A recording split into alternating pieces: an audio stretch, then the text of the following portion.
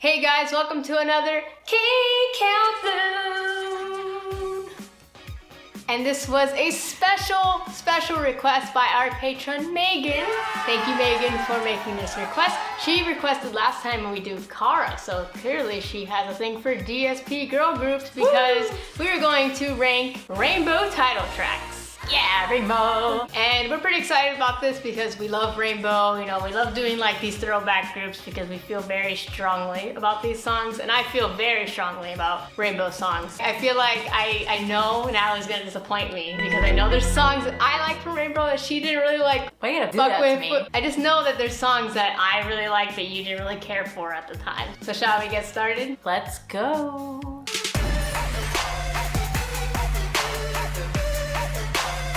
Also remember, just because something is at the bottom in our least favorite, like doesn't mean we hate it.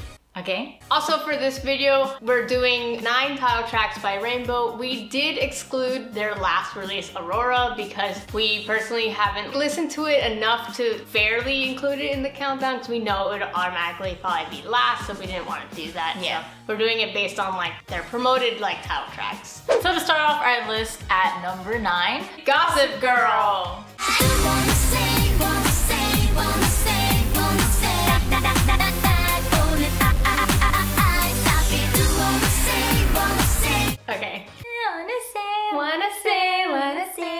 I think naturally Gossip Girl does end up at the bottom because I mean like that song is just kind of like of its time. It's not the most high quality song, but it is a song that I get down to just for nostalgic purposes. It's a good time. I think that's like for a lot of second gen songs, sometimes they don't really age well, but like if you were there at that period, like you know it's not the best, but like you're gonna get down to it because it throws you back. And yeah. it's catchy. And I think it was obvious we both would probably put it last. Yeah, it so. was pretty obvious.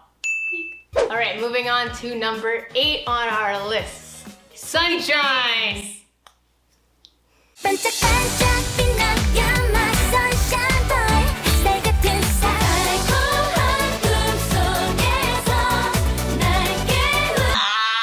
I knew you were gonna disrespect Sweet Dream. Okay, well, first of all, first of all, it, it's not a song that I really listen to a lot from Rainbow, but like hearing it yeah. for this ranking, like, first of all, the video is kind of lame. Uh, vocally, it was a little yeah, okay. So like, I vibed with it a little bit more than Gossip Girl, but I was like, yeah, this song. Like, Man, I know, I knew you were gonna put that song really low. You haven't really like talked about it before, but I, I knew that you didn't really like know the song that much or really care for it.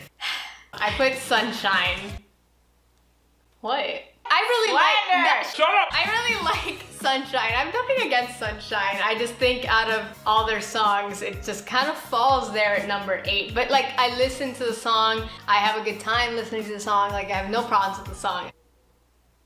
You're entitled to your wrong opinion. wow, is that the one with sweet dreams? I'm kidding, I'm kidding, it's a joke. It's a joke. You're a joke.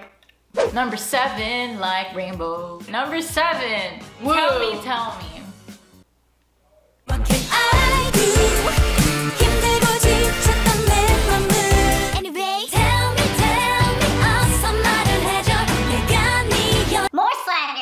Sunshine than Woo. I didn't know you felt so strongly about both those songs, honestly. How dare All right, so I put Tell Me Tell Me. It, it, was a part of like that cute phase they had. I mean, it's part one of the Rainbow Syndrome album, which Sunshine is part two. I, mean, I really like Tell Me. I don't have a problem with it. I just feel like it's just a little lower compared to their other songs for me, but I still get down with Tell Me. I have a I have an old vocal cover of that song oh, God. that you'll never see. I will link it in the description. No, you won't. I put Woo. Like I said before, I have no problems with these songs. I just think Woo just kind of falls there. And Woo is a good time. Um, over the other songs, it's just, it's just at number seven. I don't know. Number six. Number six, Amanda will be like, why? Number six on our list. My. Tell me, tell me.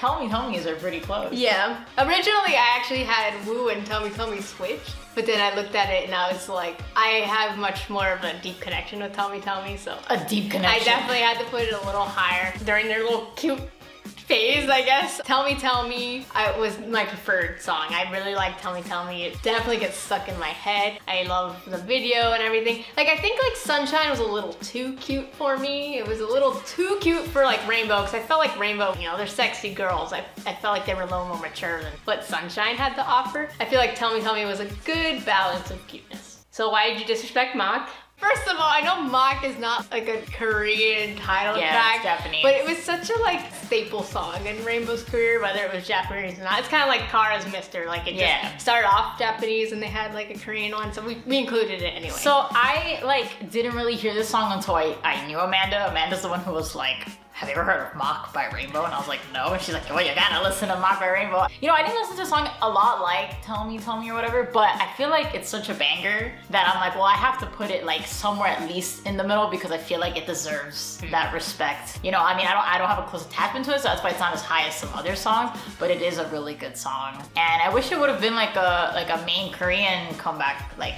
title track. Yeah, me too. It would have been nice to see them promote it in Korea, but yeah. Was that good enough for you? No, it's at number six, so I don't know. So number five, top five, yeah. Number five, Black Shine. Very different songs.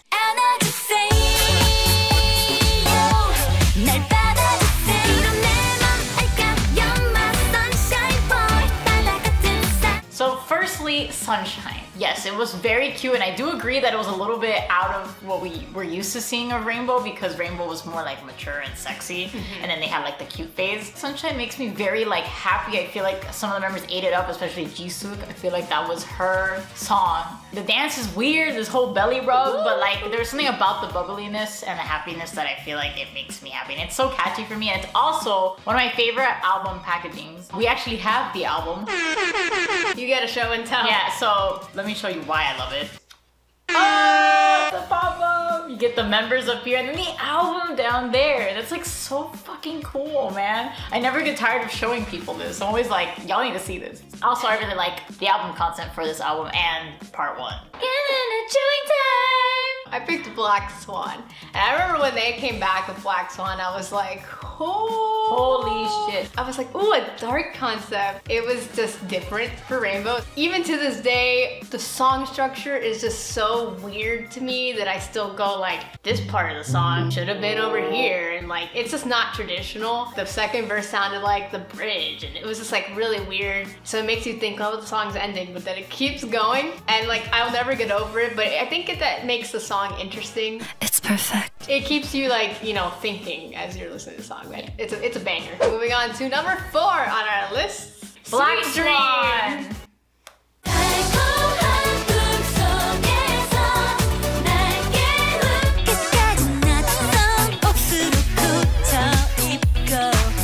So our Black Swans really close. But I also agreed that Black Swan was something different from Rainbow. It was creative, and I think I personally really enjoyed the structure because it fits kind of like the Black Swan theme. If you base it off the movie with Natalie Portman, it's like a psychological thriller. So I feel like the song fits the chaoticness Okay. of the theme. So I personally love that. I mean, it's catchy. And I don't know, the song's a banger. They all look so good, and I feel like it's one of the title tracks that a lot of people remember from Rainbow. As Woori once said, perfect yeah, you um, put Sweet Dream up there. Yeah, Sweet Dream's number four. I feel like my top four are very nostalgic picks, songs that when I got into Rainbow, those were the songs that were out. And I just love Sweet Dream because it's nostalgic. I- It has a special place in my heart. I know the video's whack. I know the video's whack. If anything, I think when I found the song, I wasn't through the music video. I found it. Like, I Oh. heard it. Then I remember watching the video and being like, yeah, whatever. And I know what you mean by the vocals. Like, the layering of all their voices in the chorus is a lot. I feel like it wasn't clean. I get it. I know. It was the time. You had though. to be You there. had to be You there. had to You be had there, to but be I, it's still a good time. I like like that type of sound concept. Like it was kind of like a little dark, a little sultry, mature sound, and I really liked that. So uh, you had to be there. Song. Number three. Number three. A.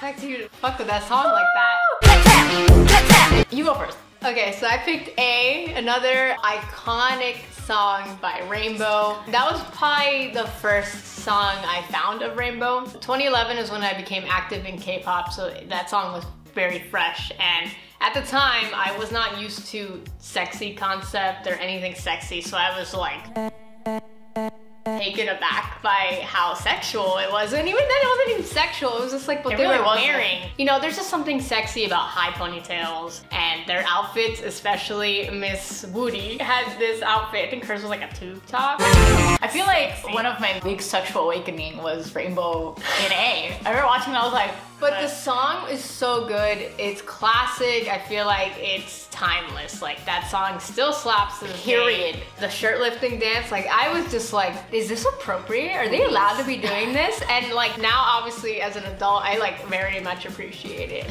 So I picked Blue, and I was also a little bit surprised too that it was as high as it is, but there is a reason. First of all, I love the song anyways, even when it came out. It was really like happy and kind of like had this cheery essence that like kind of lifts the mood, you know? Hearing it again, and like I've had this thought for a while when I listen to Woo, since it is their disbandment song, I feel It's like not their disbandment.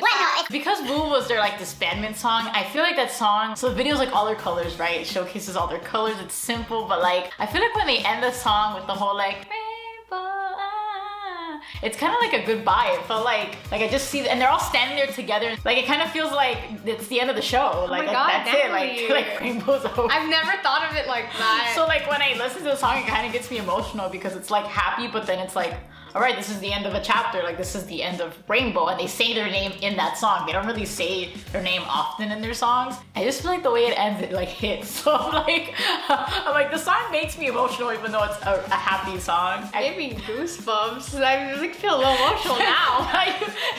now I feel emotional. You have to watch it now because like when you watch the video, you listen to it, it makes you emotional because you're like, oh, this I've never thought end. about it like that because at the time, Her eyes time it didn't come out and it wasn't like Of course, because they- because it wasn't and they also didn't like disband or like part ways immediately after. Exactly. Now when I listen to it, I, I think of it as Oh my like, God. like oh we're rainbow and like this is the end, but we're always rainbow, and I'm like okay. so that's why Woo kind of has a special place in my heart, and that's why it's number three. All right. Now we're moving on to number two on our list after all of that. Number two. to Mach. me.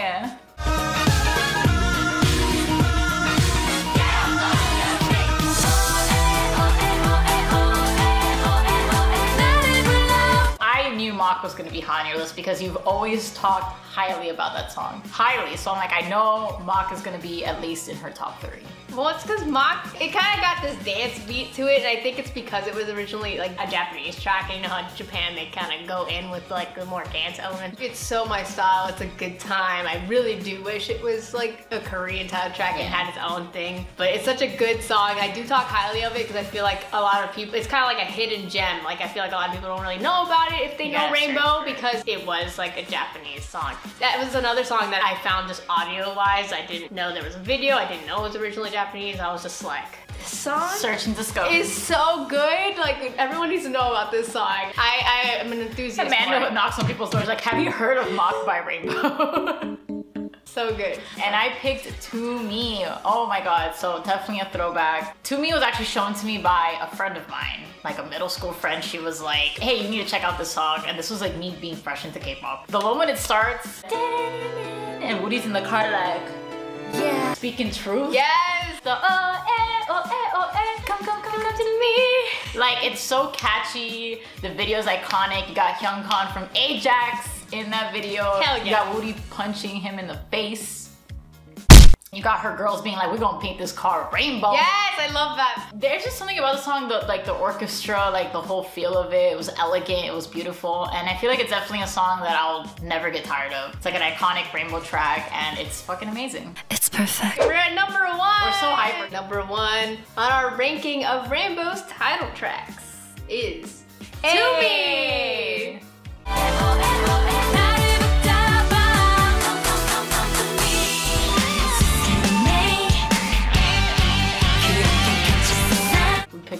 Great songs. Oh, hell yeah, it's throwback. So as Amanda mentioned with A, but I will also go into a discussion about A. When I also saw it, my cousin had showed me this. So this is the cousin who got me into K-pop. She showed me this, and at first I was like, I'm not feeling this. I don't know what the hell. No I don't know what the taste? hell's wrong with it. It didn't take me that long to re-listen to it again, and I was like, the shirt lift, iconic. And it's funny because I also thought it was sexy, but I like loved it. Like their outfits, the high ponytail, like they snatched with that comeback. And that was like one of their first comebacks, you know, like after Gossip Girl. I also thought it was their debut until Amanda was like, no, it's Gossip Girl. And I'm like, oh. A would have been too That would've powerful, of. A, of a debut. Yeah, it really would've. You Um, gotta go through the awkward phase first. before you get know? to that. I could go on a whole essay about A, but it's just definitely like Amanda said, timeless. I feel like it, it never sounds bad. Like no matter how many years it's been, still a song you could jam to. So my number one is To Me, which you just talked about, and I feel like I was getting a little excited, and I'm like, wait, I gotta talk about it too. To Me has always been my favorite Rainbow song. Like nothing has ever surpassed With it. reason. Even from the moment I've heard it, it was my favorite. And honestly, it's got all the elements I really like. Like I love violin and piano and songs. I mean, I feel like honestly, that's probably where like my love for it stemmed from, like where it blossomed, and now I just appreciate it in every song that I hear. It was, it's got that dramatic feel, and it's so catchy. And I love the video, and the ballet scene, Yeah. and, the- and they all look so good. And then like Yoonhye with the short blonde hair, I was like, I think I biased her. I forgot to mention song. too that Woori's rap in To Me. I feel like her best raps are in A and To Me, so I just wanted to point that out because her raps are fire. I love Rainbow. So that concludes our ranking of Rainbow's title tracks. We hope you guys enjoyed it. Let us know what your favorite Rainbow title tracks are in order. Thank you to our patron Megan for requesting this video. We had a lot of fun, as you can see. We were very passionate. if you don't want to miss out on any other rankings, you can subscribe and turn on your notifications so you don't miss out. And also, if you want to stay updated with whatever we got going on, follow our Instagram, K underscore junkie, so you don't miss out on anything. And if you haven't yet, make sure to check out our podcast, Talk can find it on Spotify, Google Podcasts, Apple Podcasts. We talk about everything K-pop. Check it out. Also, if you want to be able to make special requests, kind of like Megan did for this video, you can check out our Patreon page to join a tier. You can get special benefits, request benefits, participation benefits. Check out a tier and join one. Thank you guys for watching. Bye. You know, like you think Rainbow? Sorry, God. Am I boring you? Yeah. She's like playing the lizard in the window. uh, Get it, girl, get it. She got it. Oh my god! No, she took it out of the bed. where is it? She took it out of the bed. All right, let's just finish this. Aw.